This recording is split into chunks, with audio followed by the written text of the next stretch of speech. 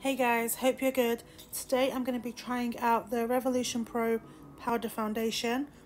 I have the shade F10.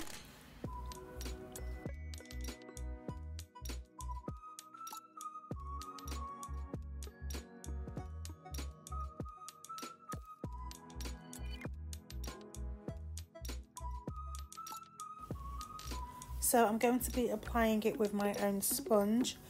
So I did put a lot on the sponge at first and then I found it really hard to blend um, the powder foundation into my skin. So second time round I went in, I just gently dabbed my sponge into the powder and then it seemed to apply really well.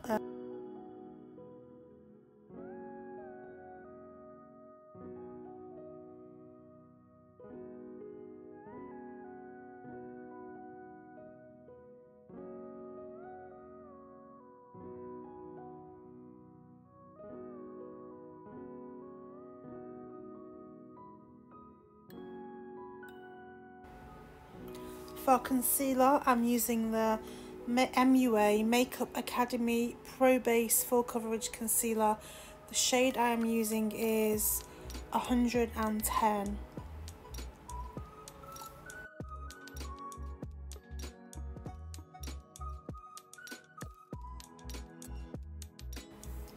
This is a full coverage concealer and it says it claims to leave a smooth, flawless finish and cover up any imperfections.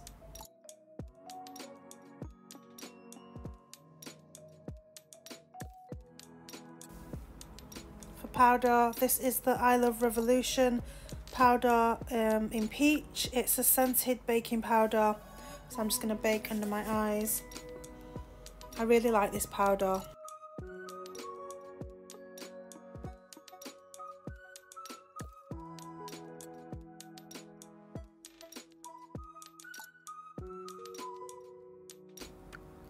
This is the MUA Makeup Academy bronzer and it the shade is Sunkissed Bronze. It's a soft tan bronzing powder that adds instant colour and definition.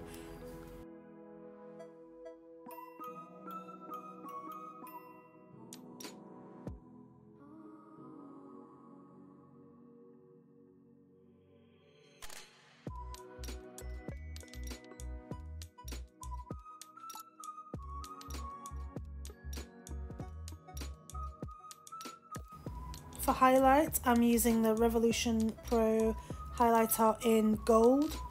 These are really, really pigmented. If you like your highlighter to bling, then this is definitely the highlighter for you. Actually, I didn't mind it when it was on the cheeks. It looked nice um, after I'd applied my blush.